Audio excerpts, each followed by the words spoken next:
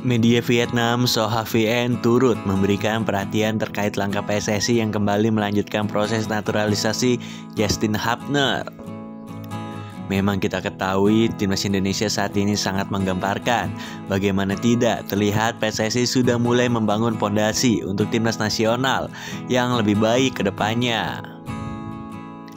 Salah satu jalan yang dilakukan PSSI yaitu menaturalisasi pemain keturunan Indonesia untuk membela skuad Garuda. Terbukti di beberapa laga terakhir ini timnas Indonesia membuat lawan kewalahan.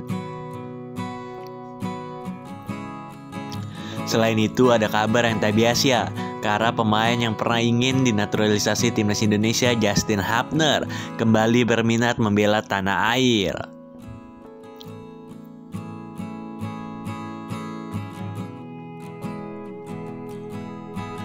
Kepastian itu dilanjutkan, proses naturalisasi Justin Hapner sendiri dikabarkan langsung oleh Ketua Umum PSSI Erick Thohir. Setelah pembicaraan lebih lanjut proses naturalisasi pemain kelahiran Belanda yang memiliki darah keturunan Indonesia, Justin Hapner sudah masuk tanpa hakir, ucap Erick Thohir. Sementara itu, Soha VN rupanya mengingatkan timnas Vietnam untuk mewaspadai bergabungnya Justin Hapner di timnas Indonesia.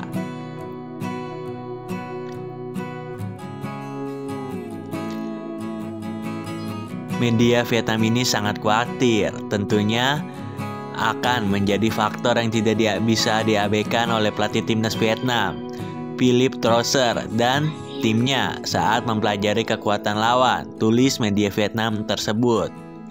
Mari kita doakan saja Hadirnya Justin Hapner dapat membawa tren positif bagi skuad timnas Indonesia di bawah asuhan Sintayong.